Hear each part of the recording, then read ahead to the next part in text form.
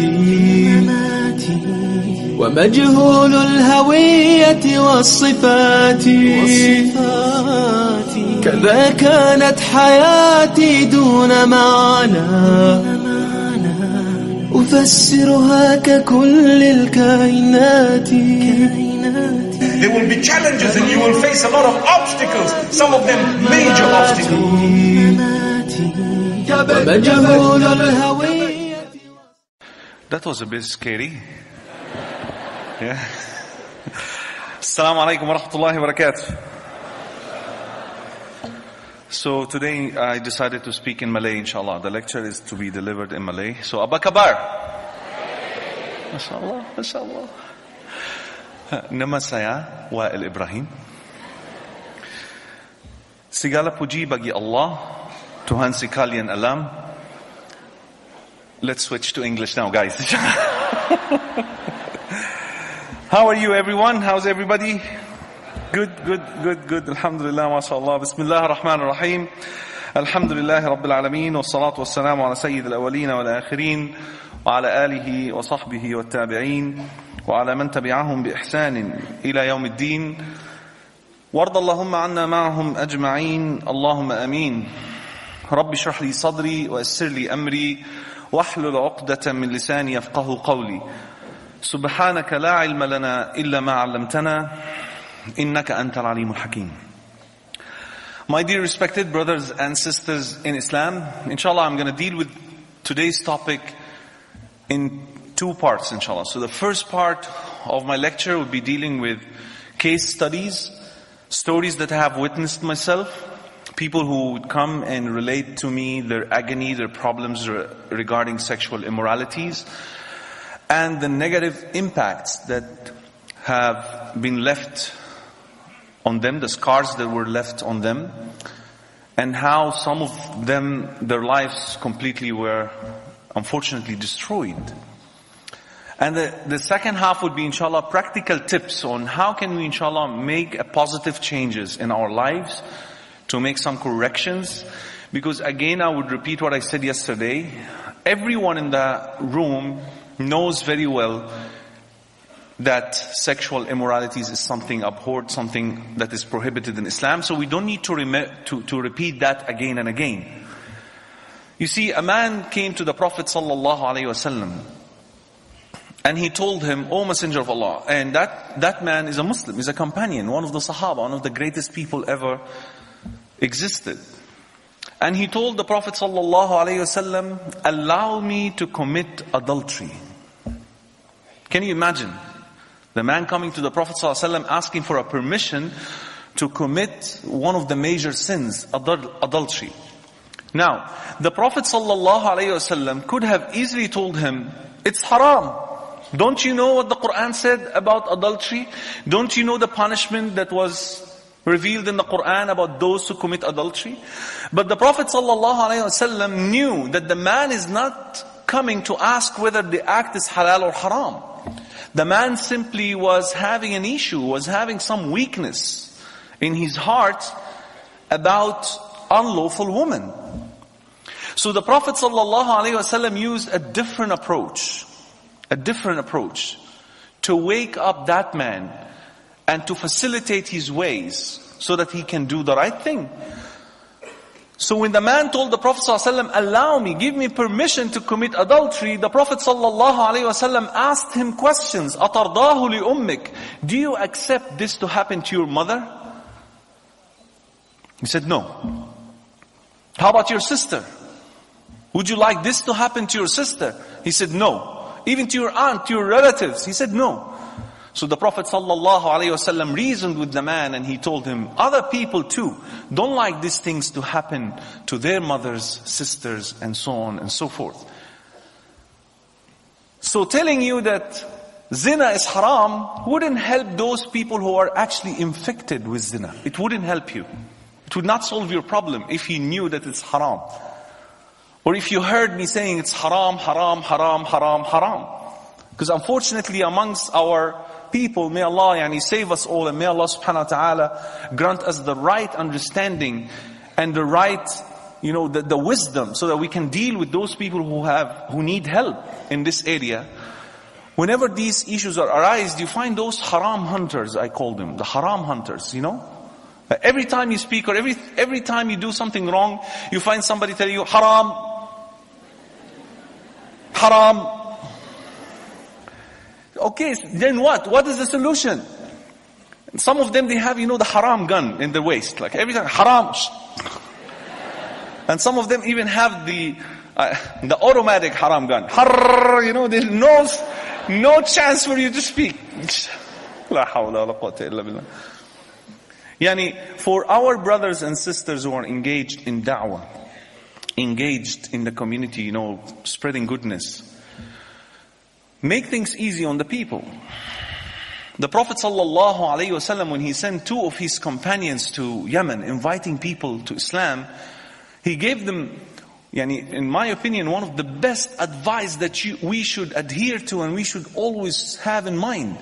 He told them, يَسِّرَا ولا تعسرا وبشرا ولا تنفرا وتطاوعا ولا تختلفا You're going to invite people to goodness, to Islam, so make things easy on the people. Do not make things difficult on them. وَبَشِّرًا And give people good news before giving them harsh news. Telling them, tell them what is halal first before listing down to them what is haram. Talk to them about Jannah before scaring them by talking about hellfire. وَتَطَاوَعَ And cooperate with one another. Unfortunately, in our time today, even those people who are working in, in dawah organizations, in Islamic organization, who, who are supposed to be doing the same work for the sake of Allah, even them, they can't cooperate with one another in the same field. Unfortunately, yani sadly. وَلَا تَخْتَلِفَ And do not contradict each other. So, whenever you find someone who's infected with these issues, be kind to them. Learn from the Prophet ﷺ how he dealt with this man who came and asked him about committing adultery. And later on the Prophet ﷺ placed his hand over his chest and he said, Ya Allah, remove the love of unlawful woman, meaning, you know, indulging in these things from his heart.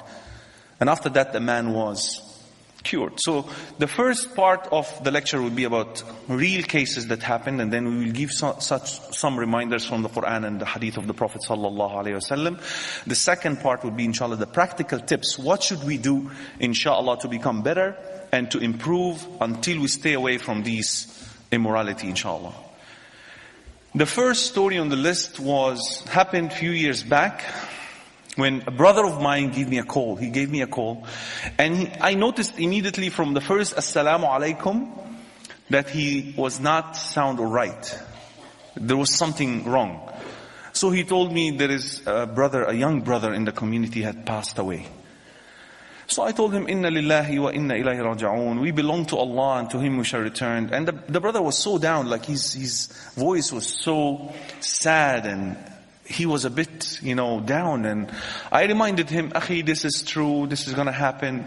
I thought that I was, you know, comforting him, but he said, that's not the issue, I know, I know. I said, so what's wrong? He said he died in a hotel room. They discovered his body in a hotel room. And the girl who was with him, she left a, a note at the reception and she ran away, she disappeared.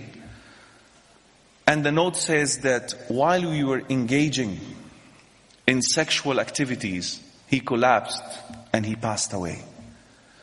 And wallahi, my brothers and sisters, when I heard this, I said, Ya Allah. We just mentioned one of the narrations yesterday that the Prophet ﷺ said that the one who dies upon any action will be resurrected on the day of judgment upon the same action. I was asking, Ya Allah, grant us a beautiful end. And make our last deed the best before we meet you. So what are the chances for those who engage in these activities that the angel of death might strike anytime? And the angel of death doesn't knock doors. He doesn't seek permission from you. He will just come and take your soul by the command of Allah subhanahu wa ta'ala. But this was not the whole story. The whole story finished by when the brother mentioned the name of this young man. He told me, this is the brother who passed away. And I was at shock. I told him I'm going to call you back. Because a few months back, before this incident, this brother came to me. 24 years old. And he opened up to me about his struggles. And he told me that he's suffering from internet addiction, particularly explicitly pornography. And he has been addicted since he was eight years old. Like he was hooked on porn when he was that young. And he remained in that cycle for all these years. And as I mentioned yesterday briefly in the Q&A, once you are addicted to pornography, what happens is the person himself or herself, because uh, many people think that this is a guy thing, this is a man thing. No, there are also sisters who are infected with this problem. May Allah save us all. The problem is that once you are hooked on porn, there is a chemical reaction, a hormone that fires up in your brain, reminding you of this activity. It's like if you like sweet food, there is a hormone that pops up in your brain reminding you of eating sweet. Like me, I love sweet, so I always keep on eating sweet. That's why I'm expanding in the lillahi. that, that hormone called dopamine. One of the chemicals or the hormones in our brains that is responsible for your pleasure, responsible for your happiness and excitement. Now those who are addicted mostly don't know about this. All what they know is that they are out of control at the moment of sitting in front of their computers and browsing these websites and these images. They don't want it, but they can't get rid of it. Most people who emailed me regarding this matter, they always start their introduction by saying, I have tried my best to quit, but they, I cannot. I don't know what to do. Because you have been training your brain for many years to see these images. And the problem is, as I said yesterday, you will start with one type of pornography, billah, and things will get worse day by day, month by month. It will get worse. You're not happy with what you're watching anymore until you reach to the point that you're not satisfied whatsoever with what you're watching on the screen, you want the real thing. You want to act out now. And that's what happened to the brother. That is exactly what happened with him. And he was telling me that he had committed this act of zina billah a couple of times because of pornography. And the last act was what? Zina. I prayed for that brother, wallahi. Because I said, Ya Allah, you know that he was weak. You know that he was fighting. You know that he was trying to repent and go back to you. You know that. So show mercy to him. Have mercy upon his soul. The grieving thing that happened to this brother is that no one in the community wanted to offer janazah for him. I was praying for him and I, I asked Allah subhanahu wa ta'ala to forgive him and overlook his sins because he was weak. He wanted to change. And may Allah subhanahu wa ta'ala accept. We never know. We never know. But the lesson is, my brothers and sisters, if Allah subhanahu wa ta'ala have showed mercy to that brother, will He show mercy to you? If Allah subhanahu wa ta'ala decided to forgive that brother and to wipe out his sins because he was struggling and fighting, will that exact scenario happen to you? The answer is unknown. We don't know. So what are the chances for us to die upon doing that which is shameful? And what are the chances for us to die doing that which is beneficial and pleasing to Allah subhanahu wa ta'ala? We have to consider that really seriously. Many people are taking things for granted. The danger thing is that the Prophet ﷺ informed us that the man or the woman who commit adultery, at the moment at the moment of committing adultery, they are not believers. The Prophet ﷺ said, an adulterer is not a believer at the moment of committing adultery. Iman is taken away from you. Faith is taken away from you right there at that very particular moment. And as we said also briefly yesterday, many people when we say zina, they always think about the actual act of intercourse, the haram activity. Many people think that this is the haram. But watching people having intercourse is halal. Yeah, th- people think this way. Wallahi, I received sometimes horrible emails that I can't reply. I can't, you know, I don't know what to say. A sister is complaining that her husband is pushing her to watch actually these things so that they can enhance their sexual activities. He's inviting her, his own wife to watch that which is unlawful for his own pleasure. They think that this is halal. It's better than zina. Wallahi, it is never better than zina. It will lead you to zina. Hundreds of emails from brothers who are already married because of the act of pornography, because they cannot protect their gaze, they don't look into the halal, rather they look at the haram. Even though next to them are the lawful wives that Allah subhanahu wa ta'ala had blessed them with, still they go out and they commit zina with other people. So the Prophet ﷺ said, Iman will be, you know, taken away from you at that very particular moment. When you look at these things, when you watch these haram, when you go out with your boyfriend, boyfriend, girlfriend, I love him, brother. What can I do? I love him. The power of love.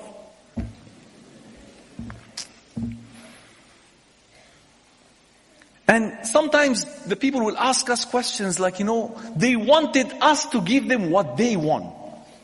Brother, can I chat with, uh, chat with my boyfriend? I don't touch his hand. I'm just chatting. What do you say, sister? You know, you know, you know. Why are you asking me? Because she want a permission from someone with beard.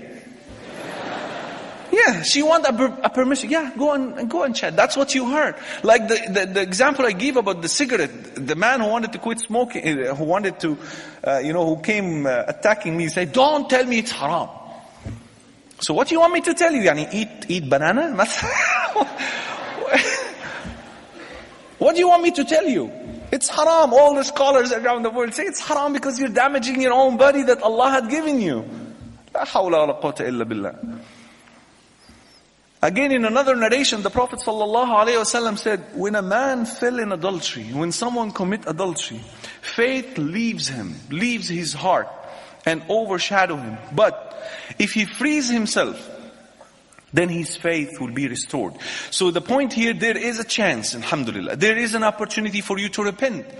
Allah subhanahu wa ta'ala said in the Quran, قُلْ يَا عِبَادِيَ الَّذِينَ أَسْرَفُوا عَلَىٰ أَنفُسِهِمْ لَا تَقْنَطُوا مِنْ رَحْمَةِ اللَّهِ إِنَّ اللَّهَ يَغْفِرُ الذُّنُوبَ جَمِيعًا إِنَّهُ هُوَ الْغَفُورُ الرَّحِيمُ Allahu Akbar. Allah subhanahu wa ta'ala said in the Quran, tell them, O Muhammad sallallahu alayhi wa sallam, Tell them, tell my slaves who have transgressed against their own souls, who have committed sins day and night, especially when they are alone, secretly, doing that which is displeasing to Allah, which is abhorred, which is haram, and yet Allah is giving you chance after chance.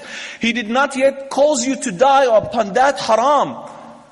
Tell those people who have lost hope Despair not from the mercy of Allah. My brothers and sisters, so long as we are breathing, there is a chance for correction. There is a chance for repentance. Allahu Akbar. Indeed, Allah is the most forgiving, most merciful. On another occasion, a sister came with her mother. And the mother was crying, Wallahi, it makes my heart bleeds. What is the story, sister? She said, it's my fault. The mother started by saying, it's my fault. She admitted that what happened to her daughter is actually her own fault. What was the problem? The sister, the daughter started to speak. She said, I grew up watching movies with my parents. Watching, you know, TV series every day. My mother, all of a sudden, when I was 18 or 19 years old, she became more religious, my father became more religious, and they don't want me to watch movies, they don't want me to watch TV series, but it was too late. With the rise of devices, internet devices and so on and so forth, I would go and sneak and watch movies and watch TV series day and night. And I became addicted to them. And that is the danger of movies and TV series and MTV songs and music and so on and so forth. Unconsciously, you will imitate their actions in real life later on. You will imitate their actions. If you don't, you know, quit these things, wallahi, the first scene, the first incident will take place in your life, unconsciously, you will fall into the same thing. You will act out what happened in, in these movies. And I have two, two stories, yani, happened to me as well. In the dark days, I used to love Indian movies. Don't laugh. And when I was young, Indian movies were like, wow. Yeah? and don't tell anyone about this, okay? It's between us, yeah. So Indian movies, and the, the actor that I used to love the most at that time was Amitabh Bachchan, okay? So he's the most popular actor, actor in India, Bollywood stuff. And there was that movie, that one movie that left a memory in my brain for so long. I watched that movie like plenty of times. It was called Mard. So that movie started like this. The man is trying to protect his, you know, village and his family and his infant child from those Britishers who were coming to attack that village. So he uh, put his wife on a horse and he wanted to give her the son, but he is afraid that maybe they will get lost. So he wanted to create a sign on his son's body so that he can remember him later on, recall him or make an identification about him when he see him later on. So out of all ideas in the world, and he could have put a ribbon, he could have write something marker or something like that. Out of all these ideas, he chose the most awkward idea. He took a knife a knife. And he was an infant. And he started writing the, the, you know, the name of that child on his chest with the knife. Mard. And the blood started coming out from that infant little flesh. And the boy was crying. And the music, the effect of the music. A'udhu billah. The lady, there's, in that, in these Indian movies, anyone uh, used to watch Indian movies? Raise up your hand. Inna lillahi wa inna. So there is that lady, that old lady who always, they brought her, they bring her always in these movies to sing in the background, to create that emotion. And she, while the music is running and she's like that, ah, you know, something. and the people are crying and my mom is crying and I'm telling mom, we have problems already. Why are you crying? Why are we bringing these movies here? Anyway, the lady took her son and she ran with her horse and the boy was in the river, you know, up and down and, uh, and she fell down and she became blind and anyway, 30 years later, the writing, 30 years later, Amitabh became a grown man, the writing's still there. But it's, it's now metal. It's not, it's not blood anymore. It's, it's, it's iron. Don't go watch that movie, okay? So, one night I woke up. And when I woke up, my brother says, Wallahi, this is a true story. I will give you my sister's telephone number. You go and ask her. She's a witness. And I woke up one night, I am Amitabh Bachchan. No one could have ever convinced me at that time that I'm Wa'il Ibrahim. I was Amitabh. I was actually not Amitabh, I was Mard.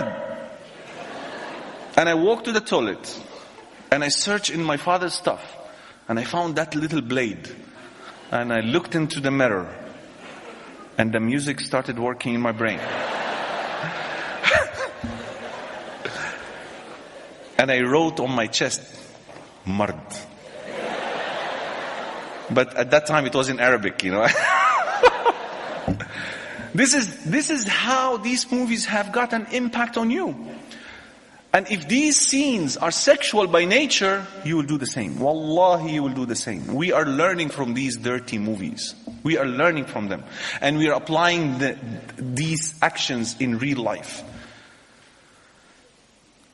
This sister and her mother told me that there was a TV series that was very popular. And I believe if I mention the name of that TV series, and if I said how many of you have watched it, I am 100% sure that the majority of the people in this venue will raise up their hands. And this TV series runs for 10 years. Yeah, I know. And in this, in this TV series, the people, the actors and the actresses were bonding together for a long time. They were neighbors. They were living together actually. And in that TV, yeah, I know. And in that TV series, everyone have committed sexual immorality with every other one. All of them. They exchange each other. That, and this is one of the favorite ever TV series ever produced, the most successful. And who watch them? Who are watching them? Muslims. Man, let us be honest. And this sister was addicted to this TV series and she watched it many, countless times. And in the campus, in the university, she got to know that man. She fell in love with him. And she said, touching is haram. We just sit together. Okay. We sit together. A couple of days, touching become halal, but hugging is haram. A few weeks later, hugging is okay, but that's it, okay? Hmm, no more. After that, sexual immorality started and it becomes the norm. It becomes okay. Because I love her, she loved me, and so on and so forth. The impact of these things upon you, my brothers and sisters, is wallahi, wallahi, wallahi, you will never become a good Muslim. You will never become a better Muslim while watching these things. They are programming you. Especially these TV series that comes every day on a particular time. They studied psychology. They know. They know how addiction actually is formed. They tell us that addiction is something, if you, if you want to be addicted, and this is not a tip, but this is how the people discovered that addiction is actually formed by performing a certain action regularly on a certain time, every day or every week on a particular time. That's why those who are addicted to pornography, eh, when I ask them, what time are you normally watching? They say, past midnight, when everybody is asleep. Why? Because not only because there is no one around, but he accustomed himself or herself to watch at that particular time. So the dopamine that we talked about earlier will be fired up at that very particular time. What is the cure for that, by the way? Is to perform a healthier action the, at the same time. To perform a healthier action at the same time and to force yourself to do that which is right at that very particular time. And create that habit, that new habit. One day I was watching, a mo- uh, uh, I asked you a question yesterday, remember I told you who amongst you watching movie? Can we see hands again? And don't worry, the mufti also is not here. Raise up your hand if you're still watching movies, TV series. Don't be shy. Wallahi, we are all falling into this error. Okay, many people. Okay, by a show of hands, how many of you have watched any movie in your entire life where there is a girl had fallen in love with a boy? Raise up your hand. How many of you, put down your hand. How many of you have watched the same movie where the boy was actually coming from a poor background, but the sister from a very rich background? Raise up your hand. They always make us poor, Sheikh. How many of you have watched the same movie where the boy proposed to marry that girl and he was rejected because of his financial status? Raise up your hand. MashaAllah, MashaAllah. It seems that we have watched the same movie. How many of you have watched the same exact movie where the girl decided to run away and leave her parents for the sake of her boyfriend? One day I was watching that movie with my grandma. And in, uh, but the Arabic version of the movie, I was born in Egypt, right? So in every culture you'll see that kind of movie. Promoting the haram relationship promoting it in movies and TV series all the time. Watch any movie, you will see a love story there where you will feel cry for the, you know. So one day, I was watching that movie and the girl in the movie, the actress, decided to leave home, to run, and the boyfriend is waiting for her with flowers. And if that actor, he's a singer, he will be singing all the time for her. And of course, the sisters watching movies say, how I wish to meet a brother who will love me like that and sing for me all the time. I want to ask the brothers, even if your voice is beautiful, will you ever sing to the one you love? and wait for her outside, say, uh, I love you, I love you. Will you do ever these things? That creates, you know, creates a picture in the, in the, especially in the sister's mind that this is the model that I wanted to marry. This is the man that, you know, of my dream. So the girl entered her father's room, wanted to steal his car key so that she can run away with her boyfriend. So she entered and of course the director wanted to create that suspense so the door when it's open it's like "Oh." and the father the father started to turn his side as if he's disturbed with the voice. And all of a sudden my grandma raised up her hand. Ya allah. Don't let the father wake up please.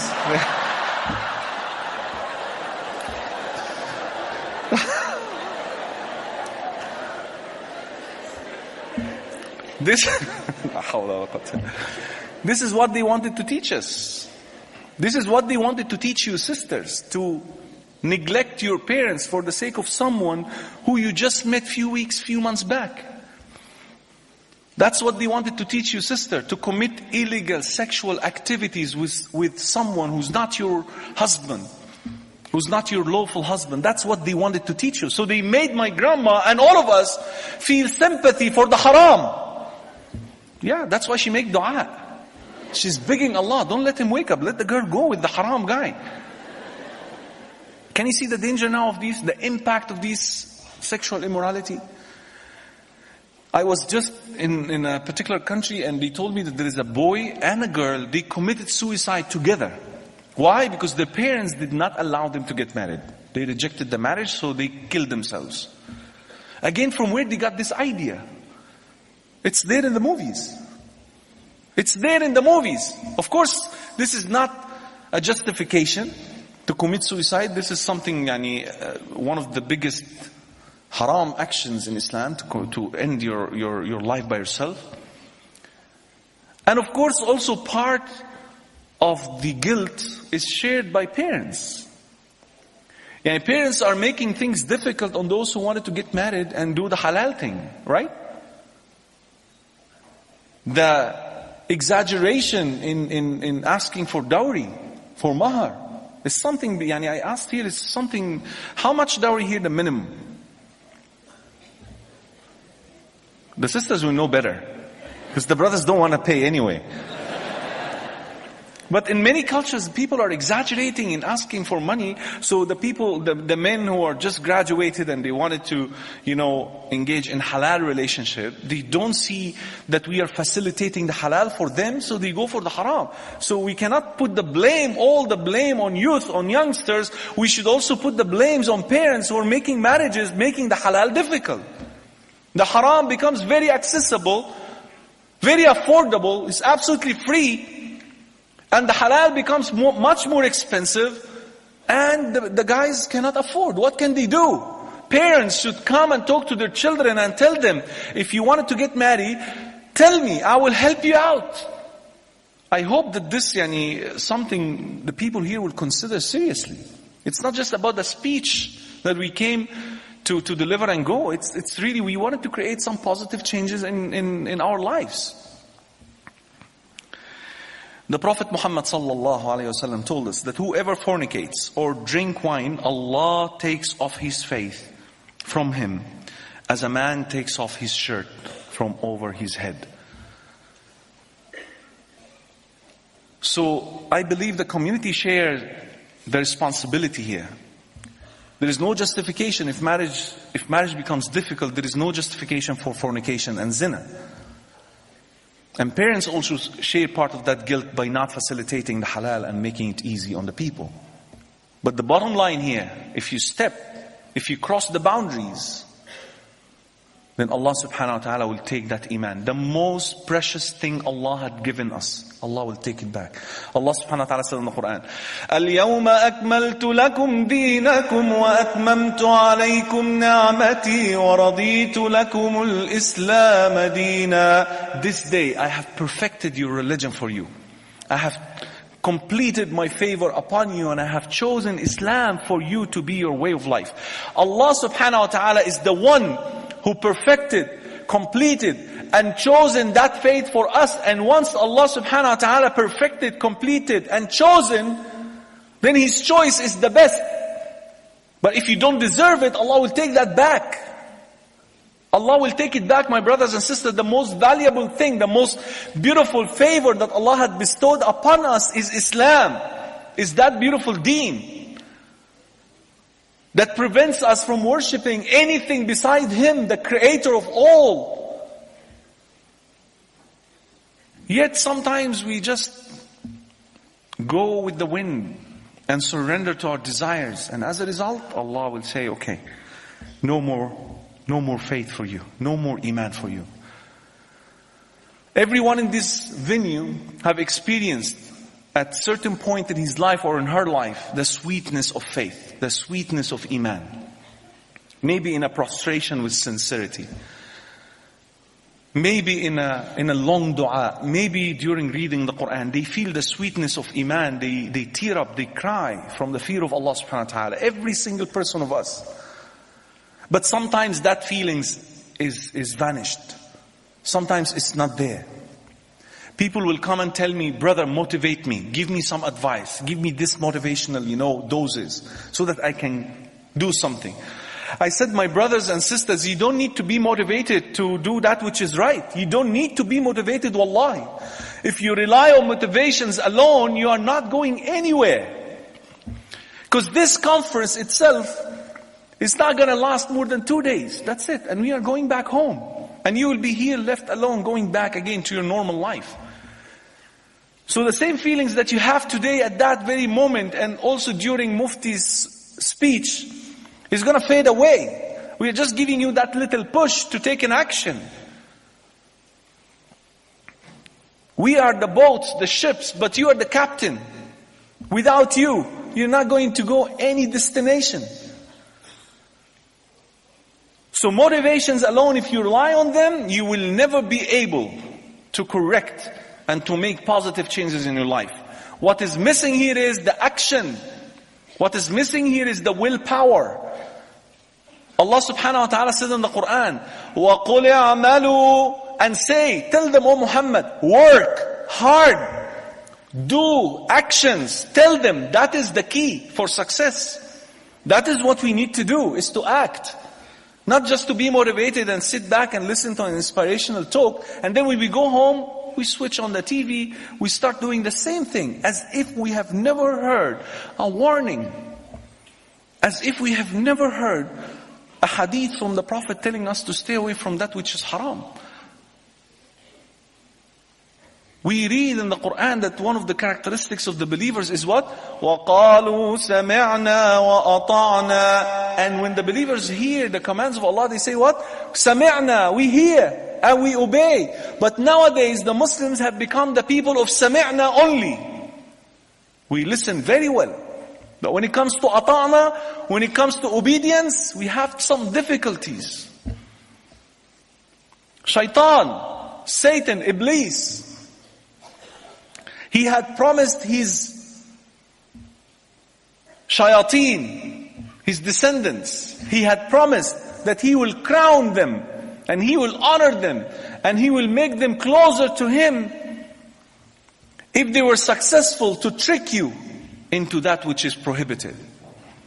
So, a Satan goes to Iblis and tell him that I have been successful in creating hatred between a husband and a wife and as a result they got divorced.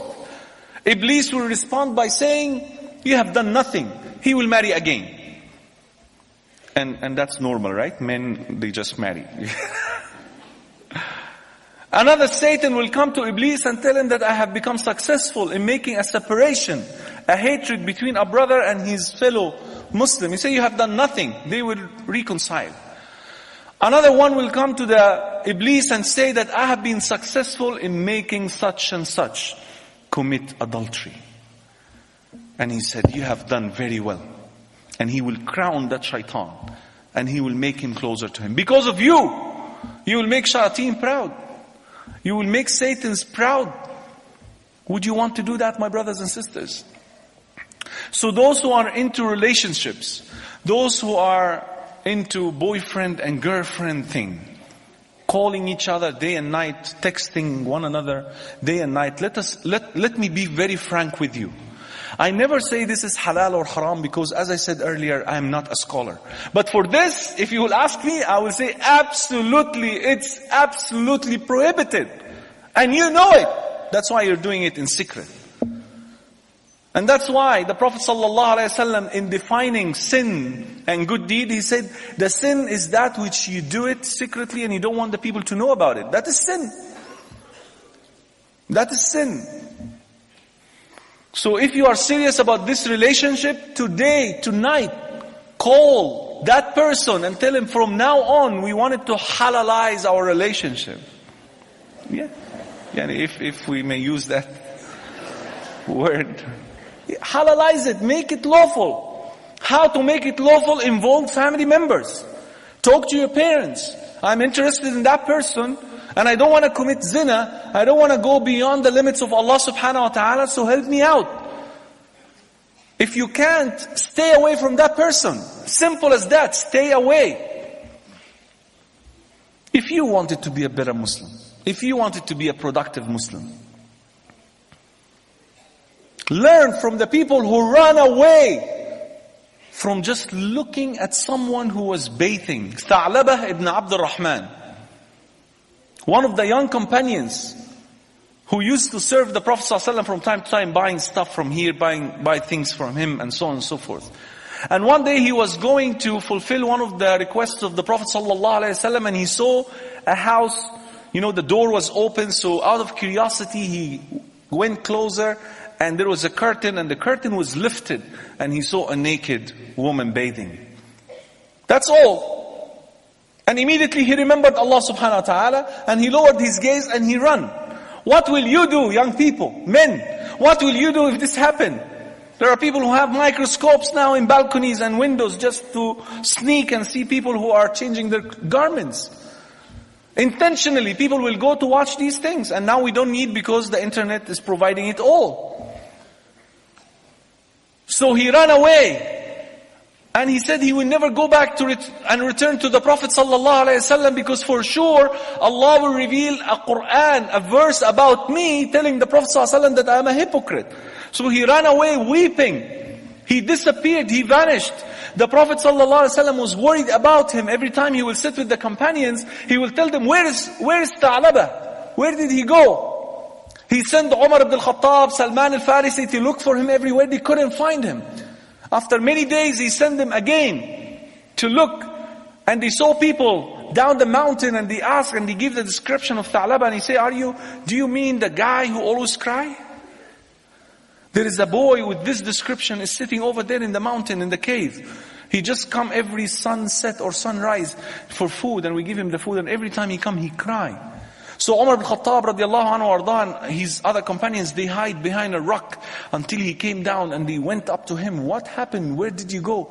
He was so concerned. He told the Prophet, uh, he told the companions, did Allah reveal any ayah about me? Was the Prophet informed that I am a hypocrite? He said, Wallahi, we don't know. But the Prophet ﷺ wanted you to come over. He said, no, leave me alone. But Umar ibn Khattab being, you know, mashallah, tough, mashallah, companion. They carried him back. Yeah. Because there's a command. Bring him to me. But he refused to go to the Prophet ﷺ's house. So he went up to his home. Crying, crying, just because of a look. And then the Prophet the merciful, the mercy to mankind, Allah Akbar, he went up to him. Learn, my brothers and sisters, to be merciful for, to those who have committed shameful activities and undesirable behaviors. We have these weaknesses. He went up to him and the Prophet ﷺ told him, what happened? Where did you go? He said, did Allah reveal anything about me? Did Allah mention that I'm a hypocrite? Said, no. He told him no. So he cried, he wept. And the Prophet ﷺ said, what, he didn't tell him, what did you do? Did you do something haram? He didn't investigate about the sin, he just let go. And he put his head, the Prophet ﷺ took his head and he sat down and he put his head on his lap. And the man told him, remove my head from your lap, O Messenger of Allah, I don't deserve it, I'm dirty. He said, No, just sleep. And he told him, O Messenger of Allah, I feel like there are ants creeping between my bones and my skin. And the Prophet ﷺ told him, Is that what you feel? He said, Yes. So the Prophet ﷺ told him, This is death. This is death. And he, after a while, he took the Shahada and he died. In his funeral, they saw the Prophet ﷺ walking on his toes. And the people started to make a space for the Prophet ﷺ, yet the Prophet ﷺ kept on walking on his toes. toes. Umar ibn Khattab radiallahu anhu told him, O Messenger of Allah, the people already open ways for you. Why are you walking on your toes? He said, by Allah, the angels are attending his funeral. There is no space. Repent, my brothers and sisters, before it is too late. Repent. A man ran away because he felt that guilt of a look at that which is haram. How about you and me? How much images, movies, and that which is unpleasant, how many times we have seen these things to an extent that sometimes we say Allahu Akbar in our salah and these images comes to our brain, comes to our mind. How many times? And yet we are reluctant to repent. So, the practical part of this lecture, inshallah, will be six things, briefly, inshallah, in the remaining time. Six things to do in order for you to create a shift and do, you know, things seriously, inshallah. And we will use the word strive. We will use the word strive to make it easy for you to remember. So each point, inshallah, each point will be linked to the letters of the word strive. So what is the first letter? Now wake up. What's the first letter? S, inshallah. S for seriousness. Be serious about making a change. Be serious about moving away from that which is haram. Look at the examples of the Prophet Muhammad sallallahu alaihi wasallam and his companions. When it comes to an action that would please Allah subhanahu wa ta'ala, they used to compete. They used to compete because they know that Jannah is for real men. And when I say men here, I mean men and women. Jannah is not cheap. The Prophet ﷺ said that there is a commodity for Allah subhanahu wa ta'ala. And that commodity is not cheap. Inna silat Allahi ghaliyah. The commodity of Allah subhanahu wa ta'ala is very precious, is very expensive. And that commodity is Jannah, is not cheap. It's guaranteed to those who are true to their faith.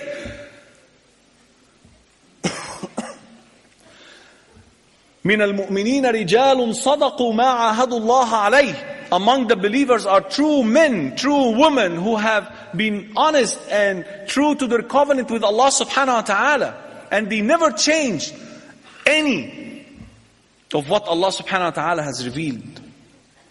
And they never change anything about that covenant. So be serious. Look at how Abu Bakr as-Siddiq radiallahu anhu arda, when he, when he was the Khalifa of the Muslims, he used to go and clean the house of a, an old blind lady. Clean her house when he was the leader. Bathe the children, cook for them, wash the dishes. And Umar ibn Khattab radiallahu anhu arda used to go after him to see what is he doing. And one day he entered after Abu Bakr left and he asked the lady, who is that man who was here with you? She said, I don't know. She didn't know that he was Abu Bakr, the leader. He didn't tell her. He didn't tell her, by the way, I'm gonna cook for you, wash the dishes, and you just vote for me. she didn't even know that he was Abu Bakr as-Siddiq radiallahu anhu arda.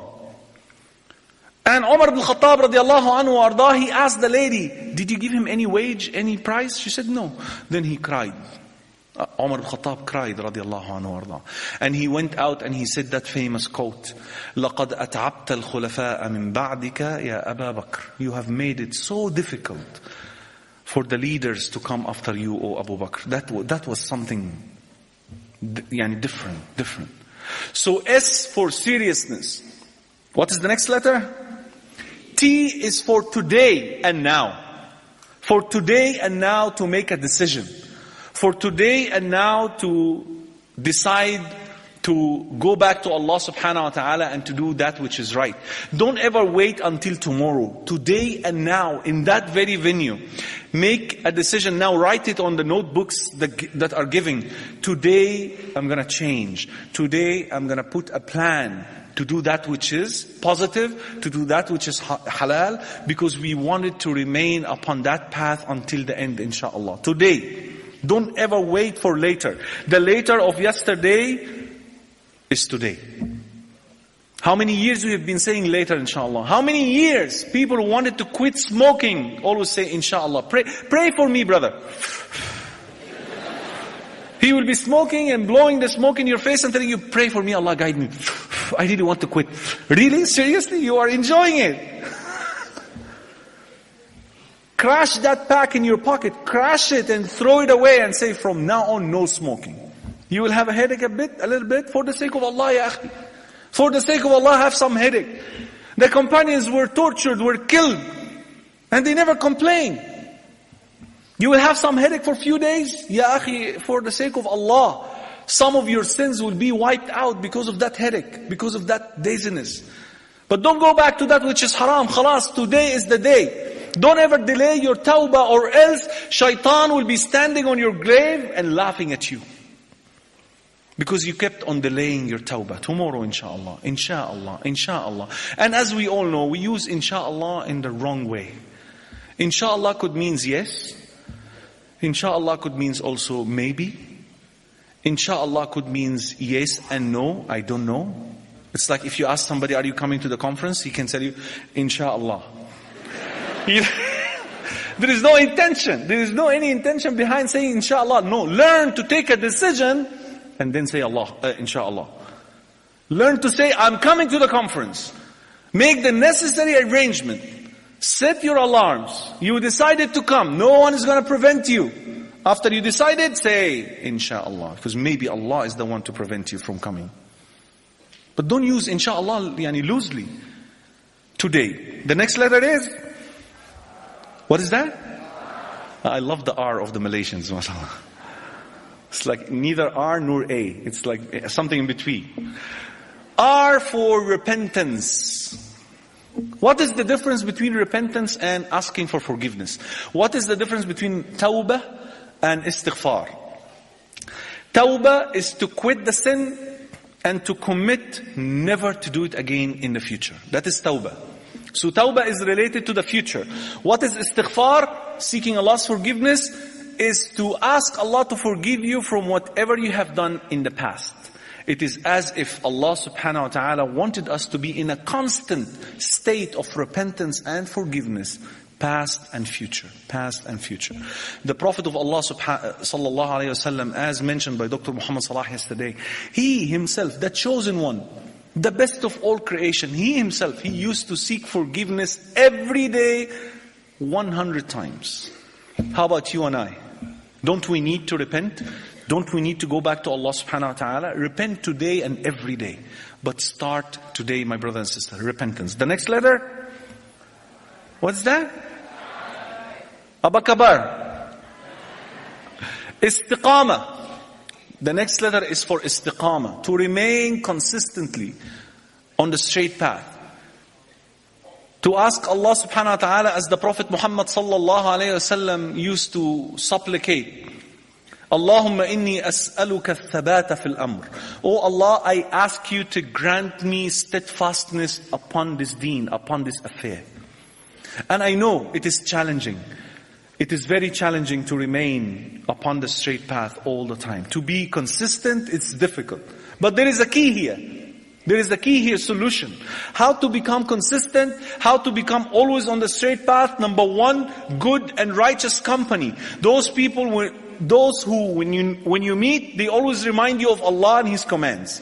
But if you meet those people who tell you, let's go to cinema, let's do this, let's talk to that, let's look at this, and if these things are haram invitations, stay away from those people. Because the Prophet ﷺ said, Al-mar'u ala dini khalileh. A person will be always inclined to follow the religion or the way of life of his friend. So be careful who your friends are. Look carefully. Look carefully in the index of your phone. Those friends, scroll and check the names and try to recall incidents that took place between you and them. and ask yourself, are these the true friends that will bring me closer to Allah or they will make me stay away from the path of Allah subhanahu wa ta'ala? And if you want to remain consistent, here is another point. Dua, dua, dua. The forgotten tool that Allah subhanahu wa ta'ala had given the Muslims to change qadr. The only tool that can change the destiny of Allah, the qadr of Allah is dua, supplication. Ya Allah, change me. Ya Allah, I wanted to go back to you. I am weak. Help me out. That's why in Surah Al-Fatiha, every time we pray, we say what? Ihdina sirat al-mustaqim. Guide us to the straight path. Show me the way. Take me there. Keep me there. That's the meaning of Ihdina sirat al-mustaqim. Because the Prophet ﷺ informed us that the hearts of people are in between Allah subhanahu wa ta'ala's finger and He can just flip them the way He wish at any time. So ask Allah subhanahu wa ta'ala to keep your heart firm. Ya muqallib al-qulub, thabbit qalbi ala dinik. Oh turner of the hearts. This is one of the du'as of the Prophet sallallahu alayhi wa sallam. You can use it. Oh turner of the hearts, strengthen my heart upon your deen. Make my heart firm. Make me like Umar ibn al-Khattab radiallahu anhu arda, the man when he embraced Islam, he changed the course of history, of the course of Islamic history. It was the first time ever Muslims would be able to practice Islam in, in the open. Because of one man, Umar ibn al-Khattab radiallahu anhu arda. Istiqama. Be like Abdullah ibn Hudhaf al-Sahmi. And I wanted you, that is your homework. So yesterday's homework, how many of you have made the homework of yesterday? How many of you have kissed the mother's hand and father's? Hasbunallah wa ni'mal wakeel. Inshallah coming. Tonight inshallah you have two homeworks. Those who didn't do the homework of yesterday, you'll do it today. Now, the homework of today is two parts. Number one is to memorize that name, the name of that companion, Abdullah ibn Hudhafa as-Sahmi, the man who was sent with more than 300 per, or he was captured in one of the battle, he and 300 of the companion at the time of Umar ibn Khattab radiallahu anhu arda, and he was captured by a Christian nation, and the Christian king was very interested to convert him to Christianity. So he told him, embrace Christianity and I'm going to give you half of my wealth. He told him, Wallahi, listen to his words. He said, Wallahi, if you give me all your wealth and the wealth of the entire planet, I will never leave the deen of Muhammad for a blinking of an eye. How firm is that? They jailed him. They prevented him from eating food and water for three days. And at the end they gave him pork and wine. And he didn't touch them. And they told him, you will die, you're weak. His neck was twisted out of hunger. He said, by Allah, pork and wine in my condition is halal because I have no option. But I will never let anyone say that Abdullah ibn Hudhaf al-Sahmi have eaten that which is haram. Very firm. And then they sent after him a prostitute.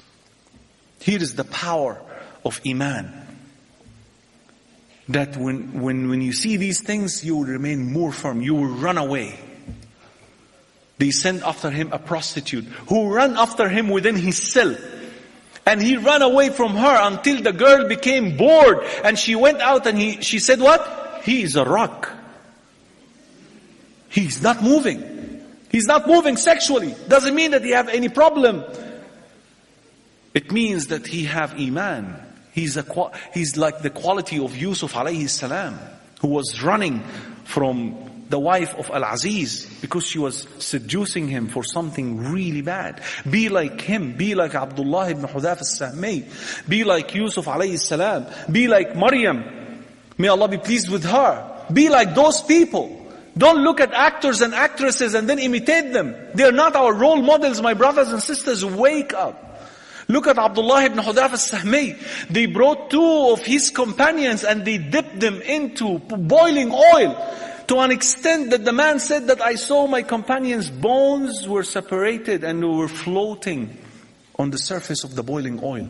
Then he cried, and when he cried, the Christian king said, are you ready now to become a Muslim? He said, no. He said, so why didn't you cry? He said, I cried because I remembered that I have got only one soul. If you killed me, that's it. I will just vanish. I will just die once. So I wish to have a hundred souls so that you can kill me a hundred times and in every time I will die for the sake of Allah. It's a different quality, different quality people, different quality Muslims. The king gave up and he told Abdullah ibn Hudaf al-Sahmi, okay, I will let you go free on one condition. Kiss my head. He told him, I will never even allow you to kiss my head. Look how firm and stubborn, yani one of the stubborn companions, was. He said, okay. Now the king started to looking embarrassed in front of all his soldiers. They can see that because of Iman, because of Islam, that prisoner is more powerful than the king. Because of his firmness and steadfastness. That's what we need. He told him, okay, kiss my head and I will let you go free and with you 60 of your prisoners, of the prisoner. He said, no. He said, okay, kiss my head, please. and I will let you go and with you 120. He said, no. 300. He said, okay. Can you imagine? All, the whole lot. And then he told him, and then he went up to him and he kissed his forehead. On the way back to Medina, some people started to talk about Abdullah ibn Hudhaf al-Sahmi. They didn't like the fact that he kissed the forehead of the Christian king. Who heard it? Umar ibn al-Khattab radiallahu anhu arda. And he said, by Allah, it is a duty upon every Muslim to kiss the forehead of Abdullah ibn Hudhaf al-Sahmi. Do you know what is the homework now? Anyone can guess the homework? Anyone can guess the homework? Not to kiss my head. the homework, inshallah, is that when we get to Jannah, say inshallah, say Ameen. Inshallah, may Allah make all the people here, inshallah, the inhabitants of Jannah. Not any Jannah, with the Prophet sallallahu alaihi wasallam. When we get there, inshallah, and when we meet the Prophet wasallam at the pool, and when we get that beautiful drink that will make us, inshallah, never ask for water anymore, let us go and look for Abdullah ibn Hudhaf al-Sahmi, and let us go up and kiss his forehead. That's your homework that you will report, inshallah, in Jannah. Ameen. And for the sisters, I think you can kiss him in Jannah, yani. Last two points, I know I ran out of time. Two points, inshallah. Uh, after I, can you remind me of the le- next letter? V is for virtues. Be a well-mannered person. I was talking to one of the shuyukh yesterday and I told him that mashallah what I like about Malaysians is the manners, the ethics. He said, not really. I said, no, I never experienced anything. He said, there are certain things here and there that is not according to the manners that are prescribed and practiced by the Prophet ﷺ. So we need to improve that. You heard Dr. Muhammad Salah, I will never repeat, I will not repeat again when he talk about manners.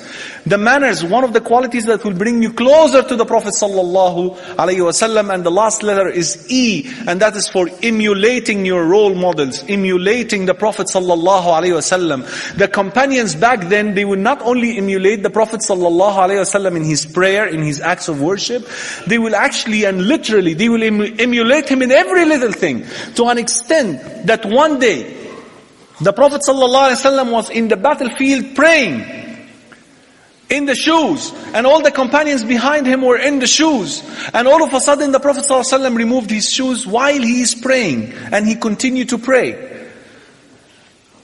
And what happened next? All the companions, they started removing their shoes.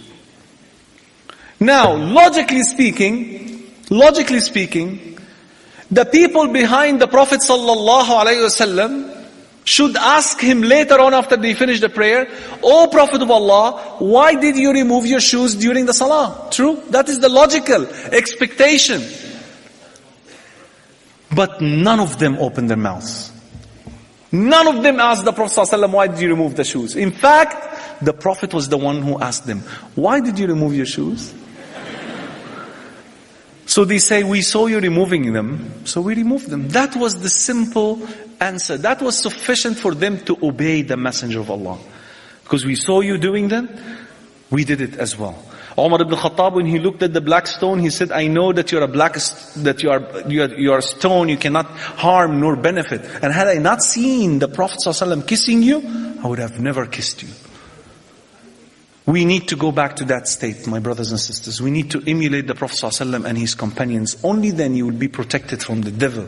Only then you will be protected by Allah subhanahu wa ta'ala from that evil desires that you are, you know, remembering from time, one time to another. My brothers and sisters in Islam, I wanted to remind you that if you fell into the sin of zina, into the sin of all types of zina, whether it is introductory or whether it's the action itself. Introductory referring to relationships, haram relationships, innocent messages, what we call innocent, that leads to the actual act of adultery and zina. May Allah subhanahu wa ta'ala save us all.